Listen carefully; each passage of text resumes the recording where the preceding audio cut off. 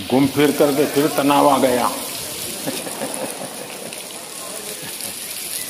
अब इस तनाव से मुक्ति कैसे हो? हिपोक्रेसी की भी सीमा होती है। बारिश की बूंदें तो वैसे भी कवियों की पसंदीदा रही हैं लेकिन इस बार उन्होंने सरकारों की पोल खोल दी।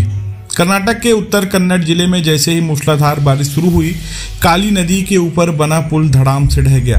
यह पुल उस राष्ट्रीय राजमार्ग 66 का हिस्सा था, जिस पर देश भर के लोगों का आवागमन निर्बाध रूप से चलता रहता था। अब सोशल मीडिया पर लोग इस पुल की त्रासदी का वीडियो शेयर कर रहे हैं और इसे लेकर तरह तरह के कयास भी लगा रहे हैं।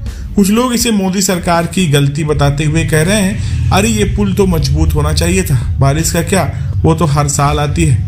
वहीं दूसरी ओर कुछ कांग्रेस के समर्थक हैं, जो बड़ी गंभीरता से कहते हैं कि भाई, यह तो हमारी पुरानी सरकार का काम था, लेकिन मौजूदा सरकार देखभाल में फिसड्डी साबित हुई है। सोशल मीडिया के इस महायुद्ध में एक बात तो साफ़ है, चाहे पुल किसने भी बनवाया हो, लेकिन उसकी देख रेख करने वाली मौजूदा सरकार की ज़िम्मेदारी ज़रूर बनती है। गुजर ने कहा कि सरकार को चाहिए था कि इस पुल को मानसून के आने से पहले ही रेन कोट पहना देती।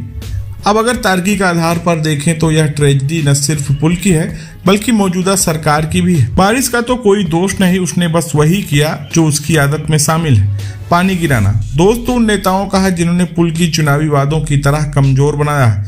तो जनाब, यह घटना बता रही है कि मौसम चाहे जो भी हो, सरकार की ज़िम्मेदारी हमेशा टिकी रहती है। पुल टूटे पानी बह जाए या वोटर नाराज़ हो जाएँ, हर हाल में सरकार को तैयार रहना चाहिए।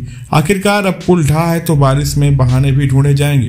बारिश की इस पॉलिटिकल बारिश में जनता भीग गई है और नेताओं के सिर पर बादल मंडरा रहे हैं। चलिए देखते हैं इस बार किसके प्लेन रनवे पर कितना पानी जमा हो सकता है। फ़िलहाल दोस्तों वायरल हो रहे पुल की इस घटना को आप किस नज़र से देखते हैं आप अपनी राय कमेंट में साझा करें और अच्छे वीडियोज़ को देखने के लिए चैनल को सब्सक्राइब करें। धन्यवाद।